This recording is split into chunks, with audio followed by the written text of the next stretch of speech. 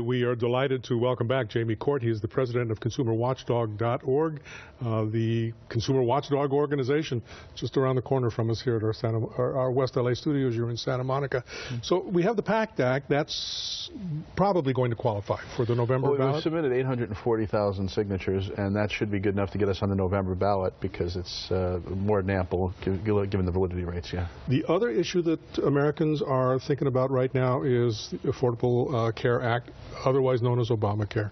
Um, but and we'll talk about that in a moment. But you also have another initiative that will be on the November ballot that is kind of it has echoes of Prop 103. Well, it does more than echo. It, it extends this auto insurance and home insurance regulation that's been so successful in California, the health insurance rates because so health insurance. Yeah, well, health insurance rates, if you've noticed, they've been going up uh, like a sure. runaway train. I mean, Anthem Blue Cross just had a 25% uh, rate hike. We keep seeing them, but in California, no one has the power to really look at these rate hikes and say they're not acceptable and then stop them.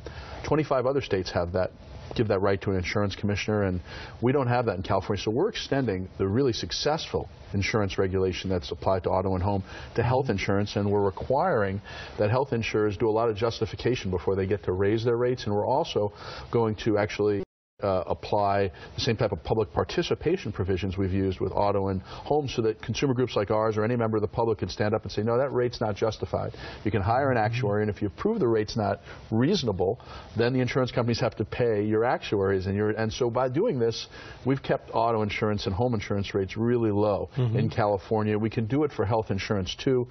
Uh, and we have the California Nurses Association behind it, uh, along with, uh, you know, Senator Dianne Feinstein's in favor of it, um, and she's fairly pro-business. So this is a really just kind of moderate measure that, that actually does a lot for consumers, but also does something for small businesses and businesses who pay for these these insurance rates. And increasingly, it's too big a share of their bottom line. It's it's got to come down. And we think a lot of the rate hikes are very unjustified. That the insurers are sitting on money in reserves they shouldn't be sitting on. We know that they're doing a lot in terms of passing on political contributions, excessive uh, executive compensation. You cannot do that in the auto insurance market in California. If you if, if an insurance company fights us like they're going to fight our ballot measure, WellPoint just gave 13 million this is the parent of Anthem Blue Cross, against the health insurance rate regulation measure.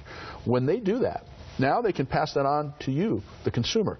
But if we pass this ballot measure, they won't be able to pass on their political lobbying costs, their candidate uh, uh, contributions. Mm-hmm. If they pay their CEO too much, and believe me, the, uh, most of them pay their CEOs too much, they can't pass on whatever that is an excessive insurance rate. So the health insurance regulation is just so critical for all of us. And of course, we're going to be facing a huge opposition among the health insurance industry.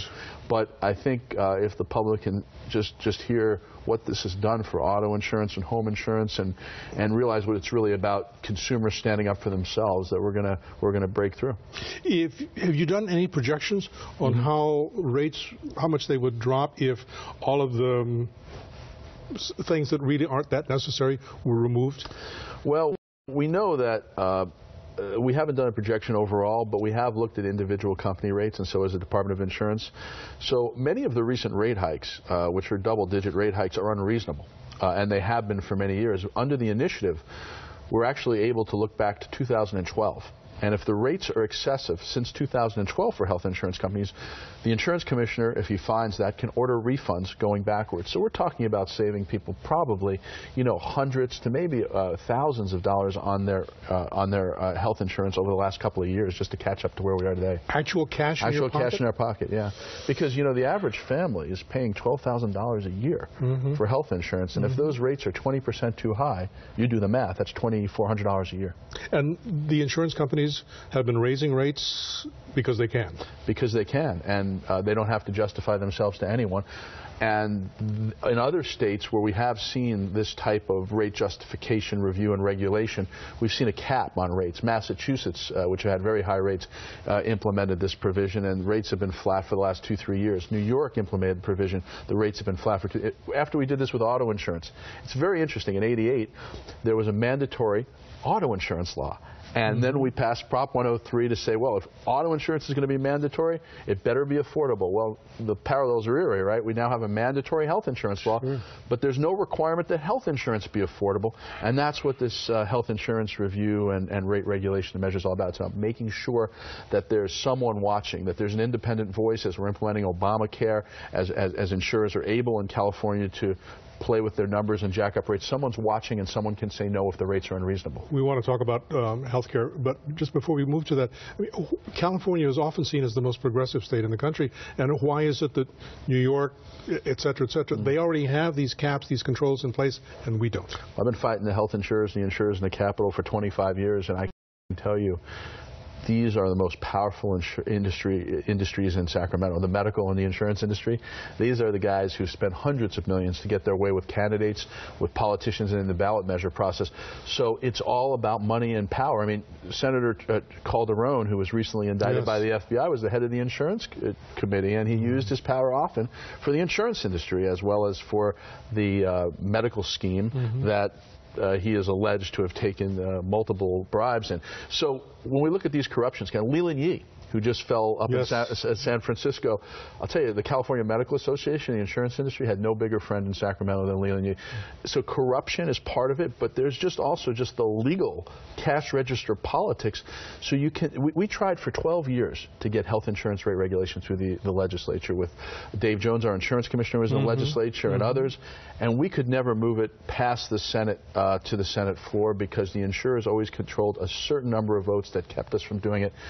Uh, Senator Calderon, who was recently indicted, was one of those votes. Senator Wright, who was recently indicted, was also another of those votes. They always had just enough to keep us from getting to the governor's desk. I think the governors would have had to sign it if we did it. Even Schwarzenegger probably would have had to sign it, but we could never move it out of the legislature. Proving once again the value and the importance of the initiative going out and collecting signatures. This is all about, I mean, this is our, our, our, our affiliate Consumer Watchdog campaign has done this uh, as a lobbying effort because that's what you have to do with initiatives, but this is all about direct democracy. This is where the public actually has a chance to vote on something that's good for it.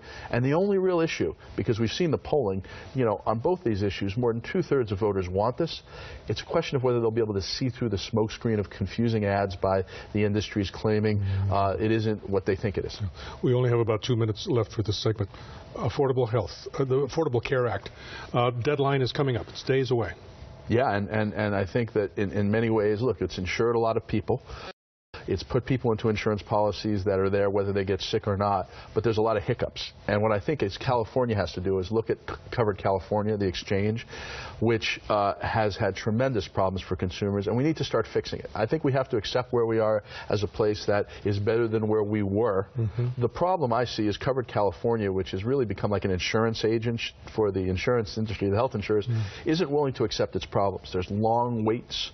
People were supposed to have gotten coverage that didn't get it, but the big problem with the new policies is that if you're in covered California, not in the private market, very skinny networks of doctors and hospitals. And you better make sure your doctor and hospital is on that list mm -hmm. because people are finding out that their oncologists, weren't on that list. Doctors and hospitals that they've had on the old plans weren't on the list. And I think the health insurers have to be forced to open up bigger networks of doctors and hospitals because right now, what rates they're charging are too high if they don't have enough doctors and hospitals in them. Mm -hmm. On that note, let's take one more break. We'll be right back.